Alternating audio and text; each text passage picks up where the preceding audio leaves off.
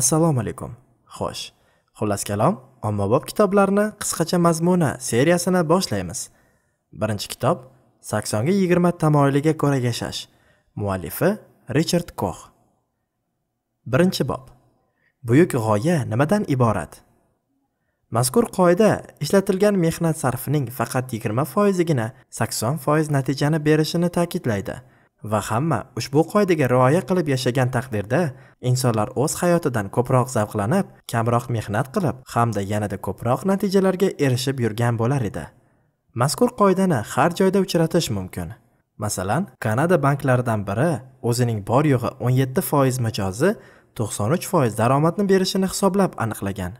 Nashr qilinayotgan barcha kitoblarning deyarli 80 foizini 20 foiz mualliflar ijodining mahsulidir. Bundagi mutanosiblik aynan 80 ga 20 bo'lishi shart emas. Nomutanosiblik 90 ga 10 yoki 99 ga 1 bo'lmog'i ham mumkin.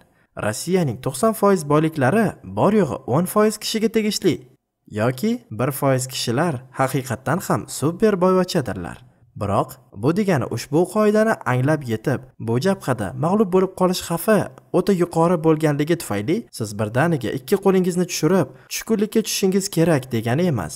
Aksincha bu anjom har birimizning hayotimizni yanada yaxshilash uchun yaratilgandir. Saksonga yigirma tamoyilini qo'llagan holda biz kamroq kuch quvvat sarflab ko'proq natijaga erisha olamiz. Ikkinchi bob. Ozroq narsa bilan ko'proq narsani qanday yaratish mumkin?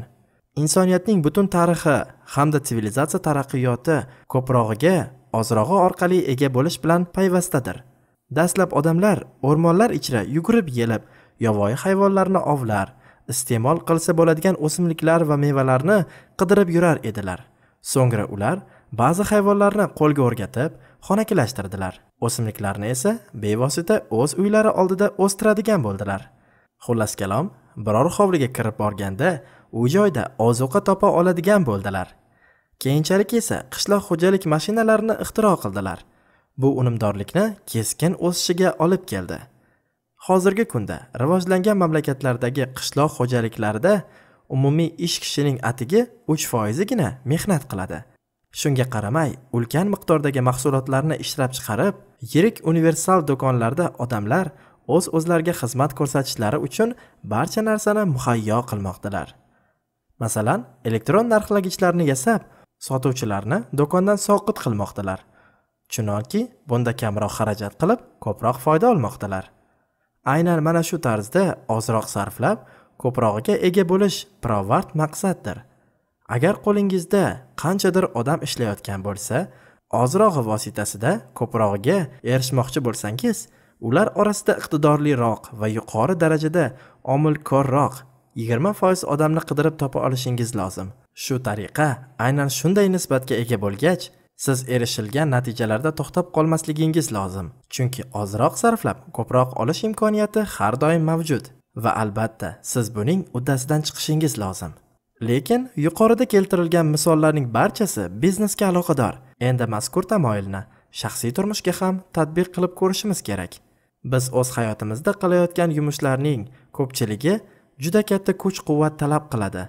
Bizga biror bir naf keltirmaydi. Ortiqcha jonsaraklik bunga misol bo'ladi. Mabodo biz biror narsani oldindan ko'rib bilib ehtimoli mavjud ko'ngilsizliklarni oldini olishga yoki biroz harakat qilib ularni vujudga kelishi ehtimolini kamaytirishga qodir bo'lsak shunchaki tegishli tarzda harakat qilish hamda ortiqcha hayajonlanmaslik lozim. Agar biz ro'y berib bo'lgan voqeaga hech qanday ta'sir o'tkaza olmasak bunday holatda behudaga tashvishlanish faqat og'ir ruhiy his qilishning yanada kuchayishiga olib kelishi mumkin. Biroq bu hech qanday foyda keltirmaydi. Saksonga yigirma tamoyili o'z hayotimizdagi biror narsaga doimo yaxshilab borish uchun imkon yaratadi. Buning uchun kamroq kuch quvvat sarflab yanada tuzukroq natijaga nima olib kelishi mumkinligi haqida savolni o'z oldingizga qo'yishingiz kerak. Masalan siz ko'chaning narigi betiga tezroq yetib olishingiz kerak. Albatta siz piyoda ham o'sha yerga yetib borishingiz mumkin. Biroq bu ancha vaqtingizni oladi. U yerga yugurib ham yetib borishingiz mumkin. Bunda natijaga tezroq erishasiz ammo tez toliqib qolasiz. Ushbu xatoga ko'pchilik yo'l qo'yadi ya'ni ko'prog'iga ko'pgina sarf xarajat qilib erishishga intiladi. Siz velosipedga o'tirib ko'chaning narigi boshiga yugurganingizdagidan ham ildamroq yetib borishingiz mumkin. Shu o'rinda siz sezarli darajada kamroq kuch sarflab borasiz. Buni quyidagi sxema ko'rinishida tasvirlash mumkin. Har doim kamroq zo'riqib ko'proq mukofot olishga intiling. Biroq bu biror narsaga jon dilingiz bilan berilgan bo'lsangiz endi unga kamroq kuch quvvat sarflashingiz kerak degani emas. O'z oldingizga qandaydir vazifani qo'ya turib zo'r demay ishlash hamda ko'p natijalarga erishish ham mumkin. Biroq o'z ishingizga jon dilingiz bilan ko'ngil qo'yib ishlash yanada kattaroq natijalarga olib kelishi mumkin. Barcha buyuk sozandayu xonandalar rassomu haykaltaroshlar o'zlari uchun jo'ngina va tabiiy bo'lgan yumush bilan shug'ullanganlari tufayli muvaffaqiyatlarga erishganlar. Ular o'z ishlaridan bo'lak yumushni hatto tasavvur ham qila olmaydilar va mehnat qiladilar. O'z yumushlariga ishonishgan va uni sevishgan. Vaholanki ular g'ayrat qilib ishlasalarda ularning mehnati u keltirgan olamshumul mevalariga nisbatan mutlaqo tejamkorroq bo'ladi. Saksonga yigirma tamoyilning yakuniy unsuri ko'nikishdir. Birinchi bora qilayotgan har qanday yumushimiz bizga juda ham qiyinday tuyuladi. Biroq buni qanchalik ko'p marotaba bajarib tursak uni shunchalik osongina eplay boshlaymiz. Va nihoyat shunday payt keladiki buni qilish qilmaslikdan ko'ra osonroq bo'lib qoladi. Masalan 5 kilometr masofani birinchi bora yugurib bosa turib uning oxirida charchoqdan holsirab o'lardek ahvolga tushamiz. Biroq biz oz vaqt o'tgach bunga unchalik ko'p kuch sarflamay ham erisha olardikku degan savolni beramiz. Xuddi shunday ko'nikmaga erishib endi biz har kuni o'z o'zimizdan yugurishni xohlab qolamiz. Agar sizda misol uchun kashandalik yoki doimo asabiy holatda bo'lish kabi qandaydir ko'ngilsiz odatlar bo'lsa u holatda iloji boricha ulardan tezroq bartaraf bo'ling. Aks holda keyinchalik ulardan qutulish tobora qiyin bo'ladi. Shu bilan birga sizda qo'shimcha vaqt ham paydo bo'ladi. Uchinchi bob. Bizning bor butun vaqtimiz o'z ixtiyorimizda. Daho olimlar qandaydir muammo ustida ko'p vaqt bosh qotirib oxir oqibat uni osongina hal etganlari to'g'risida ko'pdan ko'p misollar keltirishimiz mumkin. Bunda inson bo'shashib dam olgan holatda bo'ladi. Masalan arximed vannadagi suvga tushib osuda va sokinlik sharoitida bo'lganida uning xayoliga tengsiz fikrlar kelgan. Biz baxtiyor yoki osuda holatda bo'lgan paytlarimizda miyamizga dohiyona fikrlar yoki g'oyalar tashrif buyurishni boshlaydi. Ammo biz charchagan va baxtsiz bo'lgan hollarimizda mutlaqo befoyda dilni xira qiluvchi fikrlargina bostirib keladi. Vaholanki huzur halovatga boy baxtiyor bo'lgan lazzatli bir kunimiz bir umrlik zerikarli kunlarga tatiydi. Bir eslanga qachon siz chinakamiga baxtiyor bo'lgan edingiz? Hamda buning evaziga nimalar ro'y bergan edi? Ushbu davrdagi o'xshashlik nimada? Qanday qilib bunday davrlarni ko'paytirishingiz mumkin? Agarda siz o'z vaqtingizning atigi yigirma foizi mobaynida o'zimni chinakam baxtiyordek his qilaman degan xulosaga kelsangiz ushbu foizni 40, 60 yoki 80 foizgacha oshirish imkoniyati to'g'risida o'ylab ko'ring. Agar 80 foiz vaqtingiz sizga bor yo'g'i 20 foiz baxt keltirsa qo'lingizni bu darajada ko'p mashg'ul qiladigan faoliyatlardan voz kechib bu vaqtni sizni chinakam baxtli qila oladigan narsalarga baxshida qila olasizmi? Hamda vaqtingizning ko'p qismida siz baxtsiz bo'lsangiz bunday holatlarda o'zingizdan men qanday qilib o'zimni xushnud eta oladigan faoliyat turlariga kamroq vaqtimni ketkazishim mumkin deb so'rang. Misol uchun Warren Buffettni olaylik. U amerikadagi eng yirik va boy konglomeratni boshqaradi. Shu vaqtni o'zida u unchalik ham ter to'kib ishlamaydi. Hamda uning bo'sh vaqti juda ko'p. U o'ta muhim bo'lgan judayam kam miqdordagi qarorlarni qabul qiladi. Biroq o'zining bosiqligi va sovuqqonligi tufayli uning qarorlari eng to'g'ri va ishonchli bo'lib chiqadi.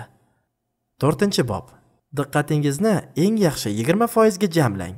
Siz diqqat e'tiboringizni o'zingizni boshqalardan farqlanuvchi va noyob qobiliyatingizga qaratishingiz lozim. Ya'ni o'zingizdan kim bo'lmoqchi ekanligingizni so'rang. O'zimizning eng yaxshi va noyob xususiyatlarimizga urg'u berib biz yorqin o'ziga xoslikka erishamiz.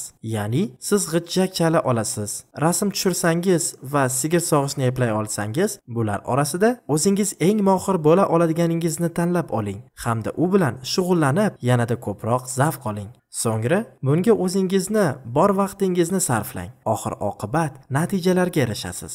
Masalan steven spilberg yosh bolaligidan boshlab rejissyor bo'lishni orzu qilgan. O'zu kun faqat shu bilan mashg'ul bo'lgan. Shu tufayli u bu yumushlardan ko'p muvaffaqiyat va natijalarga erishgan. Saksonga yigirma tamoyiliga ko'ra umr kechirish uchun quyidagi qadamlarga rioya qiling. Birinchidan yakuniy saksonga yigirma maqsadiga diqqat e'tiborni qarating. Ya'ni bu dunyoda yashab nimaga erishmoqchisiz? Siz uchun ishlash borasida aslida nimalar muhim? Masalan oylik maoshimi moslashuvchan ish grafikimi ijodmi yoki biror bo'lak narsami? Masalan men yaqin kelajakda kitoblar mavzusini kengaytirib ularning kattaroq miqdorini qamrab olmoqchi edim. So'ngra biror kishini yollab shunga o'xshash formatdagi badiiy kitoblarni yanada ilg'orroq animatsiya bilan boyitib yaratish niyatidaman. Shu o'rinda ishda menga ijod va o'z o'zimni namoyon qilish xush keldi. Shuningdek yana ba'zida dasturlash va modellashtirishga ham qiziqaman. Biroq bular mening asosiy rejalarim qatoriga kirmaydi. Shuning uchun ularni shunchaki chetga chiqarib qo'ydim.